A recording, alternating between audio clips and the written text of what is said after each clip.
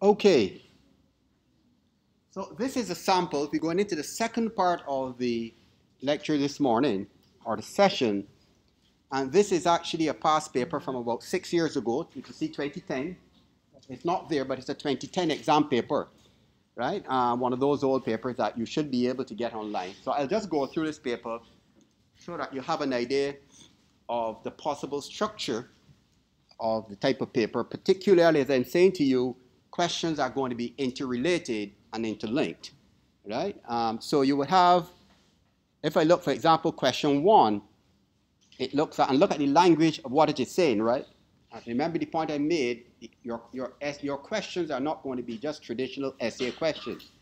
So say, given the following ratios, conduct a comprehensive sensitivity analysis of ratios in each category as identified in the financial ratio table to produce a short document which you want to share with the client, to share with the client.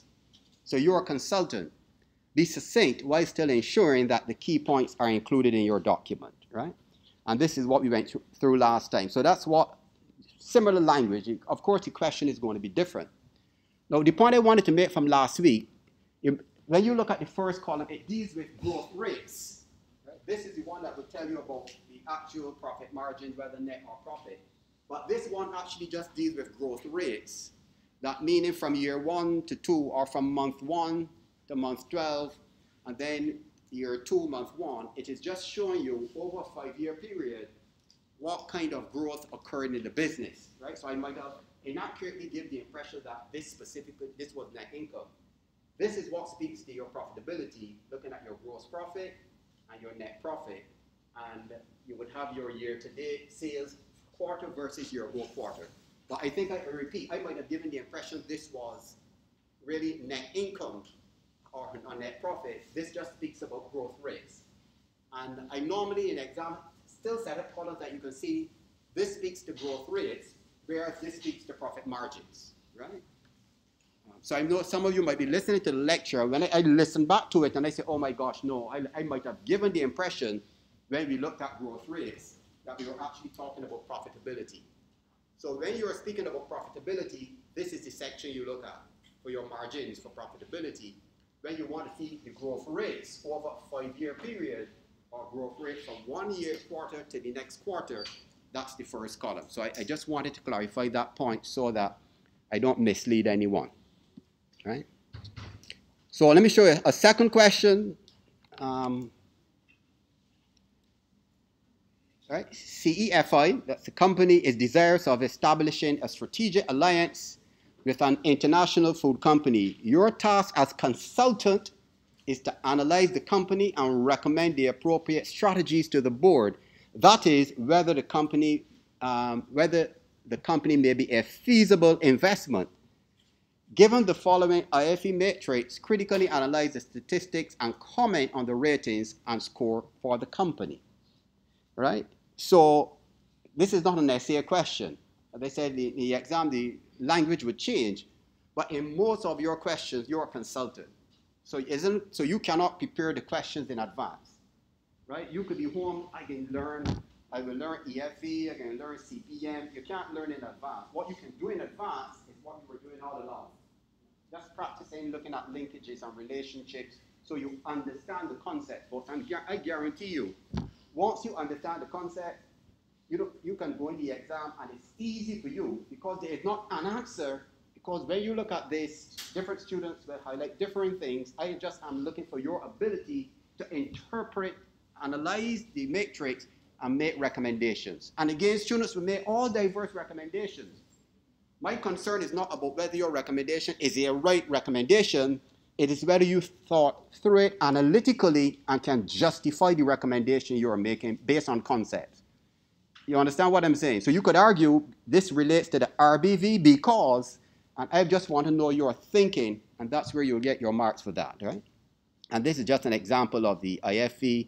Let's look at the CPM as a strategic consultant. You see, the third question and in all of these questions so far, you're a consultant. You're not a student. It's not about writing essays. You see the point I'm making? It's not about essays. You are to advise the CEO on board on the competitive position and profile of Kegall Inc. And in fact, it was actually Kellogg. And I had actually looked at the, I actually looked at this in a class like this. I looked at the whole Kellogg case and all the all these matrices I looked at in the class, and I brought it back. I just changed the name from Kellogg to Keygog. And a student came up the exam and said, Dr. Corbin, you know, I got mixed up. I actually started to call this thing Kellogg, but I forgot that it was a different company. I laughed. It was actually the same company. I just changed some of the numbers in the tables, but it was the same company. I wonder if I did it again.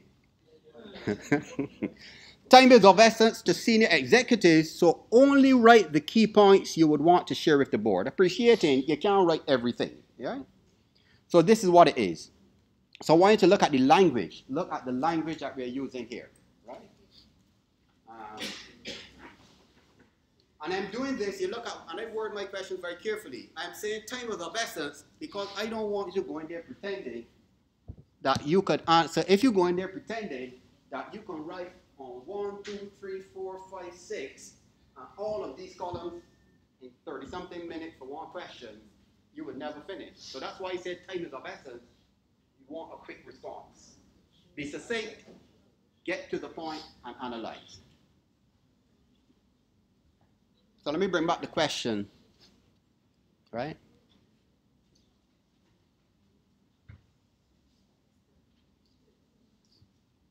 And then you see, you would, as we said before, when we are analyzing these matrices, like the CPM, where do you begin?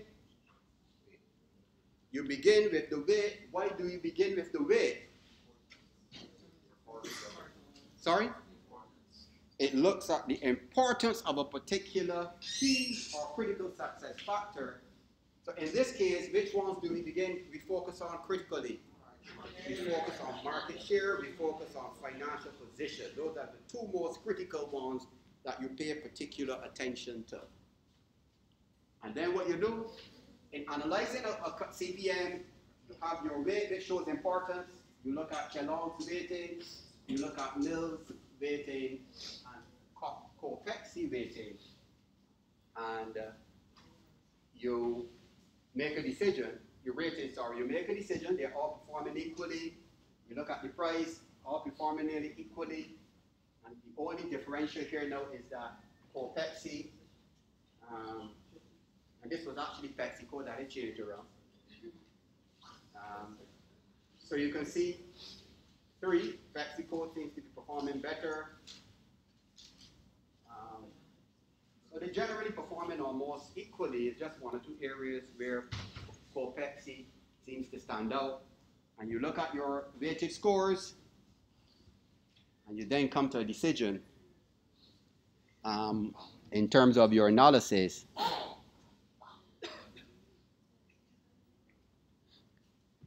So in this particular question, it asks you to make comment on the profile of Inc if I say to you, make recommendations regarding on the company it might consider integrating with, it shifts it in a different direction. You understand what I'm saying?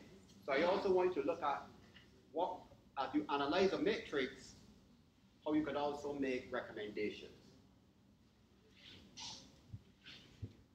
So what stands out, just quickly, tell me what stands out in this CPM for Keygol Inc. Somebody, just tell me, one person, tell me what stands out in this, this CPM. If you had to analyze it. One male, one female. Go ahead. Oh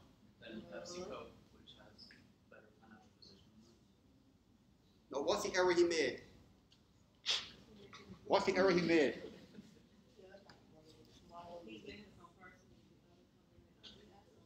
No, he defined the four principles I said just now. What's the principle they established? Look at the highest weight. What are the highest weights? Market share and financial position. He, you understand what I'm saying, you folks? So he go on to the third best way. So I'm saying to you, follow the principle. Start with the most important. 25 means this is very important. So he's not wrong. He's not wrong, but you still haven't dealt with the most critical success factors for the company. So when you're advising management, you're not giving management the best advice. You're giving them partial advice. You understand? So if you start there, it means in the exam at some point, he still has to go back and deal with the highest rate. So for you, if you're good, you can deal with all, you know, if you're fast. If you understand? But if you start here, and you start here and here, but you still deal with the most important, management is saying to you, advise me. So if you haven't dealt with the two most important factors in the company, which should be in terms of the industry, market share and financial position, you really not have to advise me properly. You understand what I'm saying? So start with the most important bit that in case you run out of time, at least I have advised my company on the most important factors, which is market share. And what it says for market share, what does it tell you when you look at market share for all three of these companies? Huh? So what does it tell you? What does it tell you? Competition is real intense. So you understand? Competition is real intense. So when I look here now, you see when I told you the link, because the same company is it? You all realize that everything is the same company. All is just a case that broken up into sections. So when you look now at the matrix, you're talking about market share, rapid market share versus low market share. And look where the market thing is. You understand? It is not higher up, which means the market is high. It's not in rapid growth, which means the point then that about the competition is so intense, everybody is grappling for market share, which has implications for your efficiency and for your effectiveness and for your sales and everything, because the market is tight. You understand? It nearly to it nearly to the point of you see the y-axis? Everybody sees that? If it was further there, really, this is a high growth market. But it says that is a mature market. And these three big players here are in intense competition. Hence, what do you need to pay particular attention to? Since competition is so intense, there are a whole set of things you can pay attention to. Product development, is what? Rivalry among competing firms, what else you want to pay attention to? Who said that? You better believe it. You've got to pay attention to costs because once you can pay attention to costs, it allows you to do what? Pay attention to. If you can pay attention to costs and keep your costs down, it helps you to pay better attention to. My say the thing now. Price. you whispering it if you say, man, let me hear to I mean, we big adults, we equals in this class. See, he's correct. It says to me, since the market, if you look at the CPM, the CPM tells you well, all three of these people are high flyers. These are high flyers, all getting ratings of for me that in terms of market share, nobody really not getting the competitive advantage over the other. And the CP, the grand strategy matrix now tells you when you can assess, you can make a judgment based on the, the growth rate, the market seems to be mature. And you know, in mature markets, margins going to be very close. When you have intense competition, margins are going to be very close. So to make profits, you need to pay attention to costs, as he said. And once I start to pay attention to pushing down my costs, as he rightfully whispered, you need to pay attention. It helps me then to pay better attention to my price because once I pay attention to price, what's the benefit?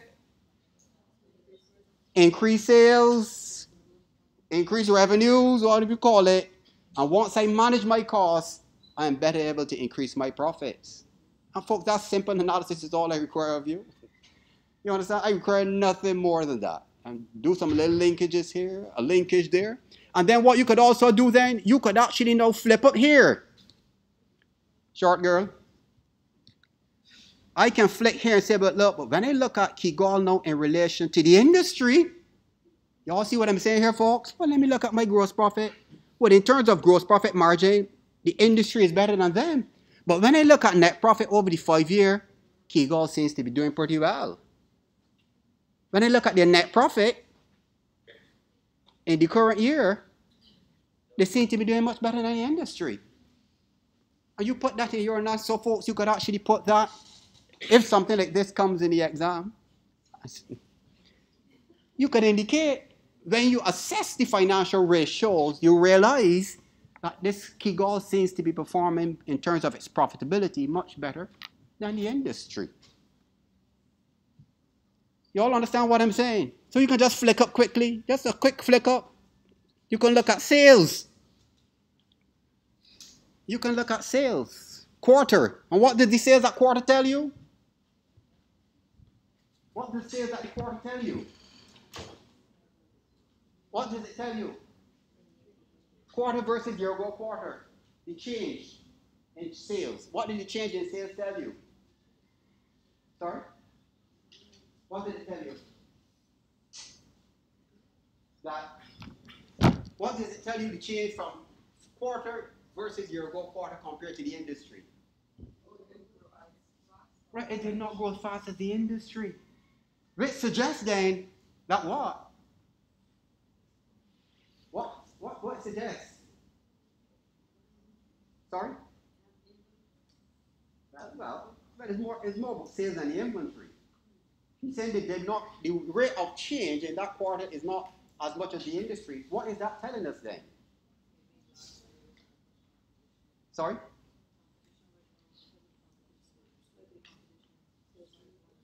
Right, it means that, that maybe because of the intense competition, my sales are not going as fast. And it suggests that they seem to be doing better in their advertising and promotion than you. but folks, I'm saying, but I don't have the answer. All I want for you to do is something like this. Give me an intelligent answer. You understand? Marketing and sales is a dynamic thing. So I don't have the answer. You give me an answer. Somebody give me another reason why. Sales quarter versus quarter. Industry greater percentage change. Could be wrong. It could be a distribution problem.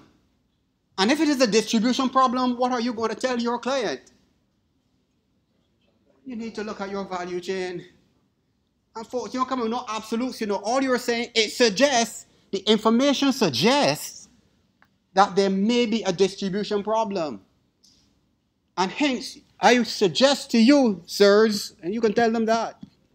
You can say, I suggest to you, sir, CEO and board of CFI, that you might need to look at issues of value chain. You understand what I'm saying? You might need to look at value chain, look at distribution, look at things such as that. Um,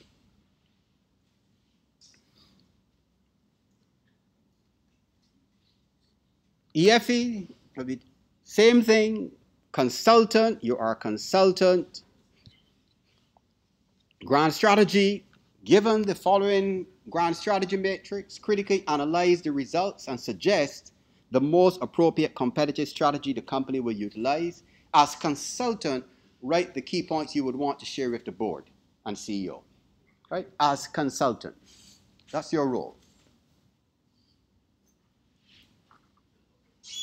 And consultants don't come with a template. When you come in my organization, I want to hear your analysis and your innovative suggestions. Because I don't want what, in other words, if you bring to me and suggest the same things for me you suggest for the your other clients, well, you're not helping me. I want unique. So what I'm saying to you students, all I want from you is critical thinking, analysis, and some innovative and creative solutions based on the theory and the concepts we know. Just what we did just now. It, it could be a problem with sales because there's a difference in your sales ratio. So if there's a problem of sales, your growth rate of sales, it means then that it might be a problem of distribution. Right? It might be a problem of distribution. It might be a problem that your marketing and public relations are not good enough. Because it could be different reasons why the product is not getting to market. Um, our production might have fallen. There might just have been something that happened. There was a something happened in that quarter. There was serious technical problems with the production plant. That the plant broke down and you could not produce as much goods as you wanted to. So it could just be that too. There was a break in production or the workers took industrial action. That you did not give them a share option plan, and the workers went on strike action, which is a human resource issue. But folks, I'm serious, you know. You understand? That is a possibility. That the plant was shut for industrial relations, hence, and what you're doing, you're now linking in to understand the importance of implementation and human resource management, of culture, of motivating workers, of industrial relations. So if a student goes that line, that's all I want. For you to show me you are thinking about relationships, you're thinking about issues. Because not a company is just not run by finances. So just looking at the financial ratio table is one thing, but you could also look at possibilities of human resource issues, poor management, poor leadership. Workers are not motivated, hence production levels are falling.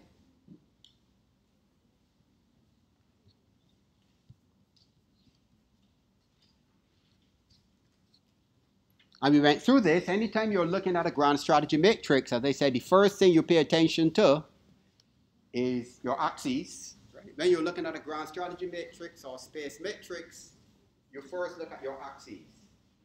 And the x-axis deals with competitive position versus um, weak competitive position versus strong competitive position. And the y-axis rapid market growth versus slow. So we know the company is around here. So what does it tell you about the company if it is around here? It is in a very strong competitive position, even though the market is tight and tends to be mature. And when you look, what would tell you it's in a strong competitive position? Well, let's go back, folks, and look at the CPM. Does the CPM confirm that it's in a strong competitive position? Yes, it does. 3.3, 3.3, 3.6. It's in a strong competitive position. So when you bring these kind of linkages, it tells me this student is thinking. They're looking at linkages. They're looking at relationships. When you look at its profitability with the gross the net profit margin, yes, you're doing well. you okay, your profit 8 versus the industry 5 over a five year period. Right?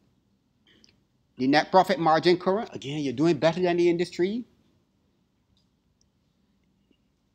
Even though the industry gross margin was higher than you.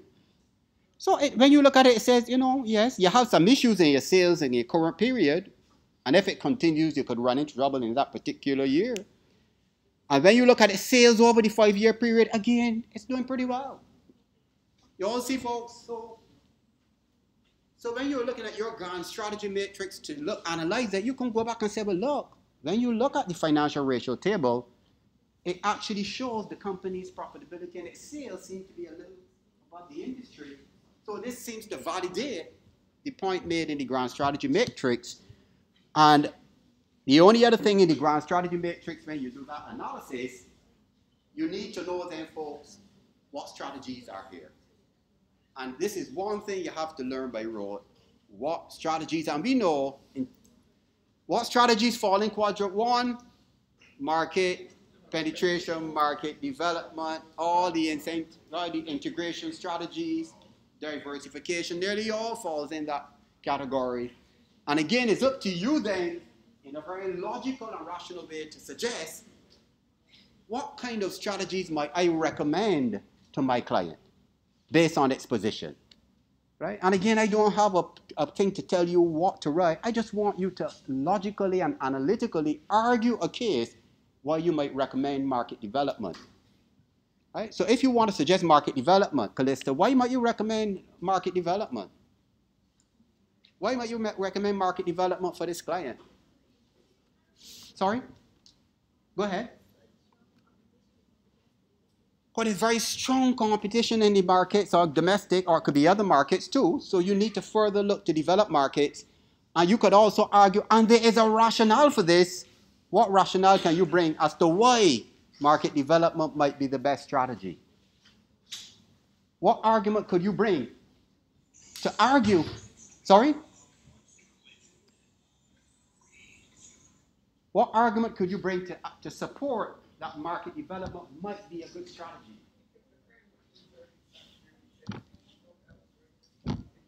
Right. And you can go elsewhere. What else can I do? Where else I can go in this paper and find something like that? I can go here and argue then, but you know, when I, uh, product quality could be an issue, but when I look at market share, it, enhances the point about the nature of the, of the, of the market. Very intense and seems to be mature when you look at the grand strategy, but the CPM validates this thing is too tight. And once it is tight like this, my margins will be narrow. So I might need to look for other markets. So what kind of markets will I look for? I look for markets that are growth markets. And if you want, you could even draw a sign if you get a question like this with the product life cycle or market cycle that market is in growth stage. Show me you know your stuff. and then there will be a few, there will be a few. I always put in a few other questions, kind of essay type. There will be a few essay type. Um, but largely, matrices and things like that, you need to know your matrices. Your IE matrix, I suggest you look at your IE matrix. And, and you will know about the IE matrix, your grand strategy and space. You need to know what strategies fit in those quadrants. Right? You can't guess. And you don't want to get mixed up in an exam, so you need to know them well. You need to practice them to understand them. Right? And I said that is from the 2010 paper. Right? Um, not a difficult paper, you would agree, correct? Easy, right? What's that? Easy once you once you know it. But that's it, yeah, right. But folks, I want you all understand the point I'm making to you. This is not a paper that you can wait till a few weeks before the exam and read chapters and read notes and pass. It is not that kind of exam. You can read your book for 24 7 and drink Red Bull and everything and coffee and don't sleep. you understand? I'm going to help you. okay. So, what we did, in fact, what I'll do, I'll just maybe upload this. I think I'll upload this to the web later, later today. Um, but as I said, folks, you know, from I, I'm, I'm comfortable from listening to you.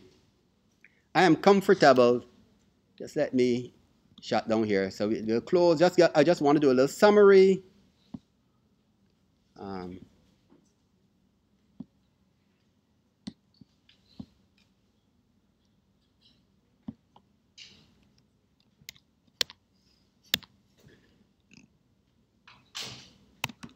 past paper.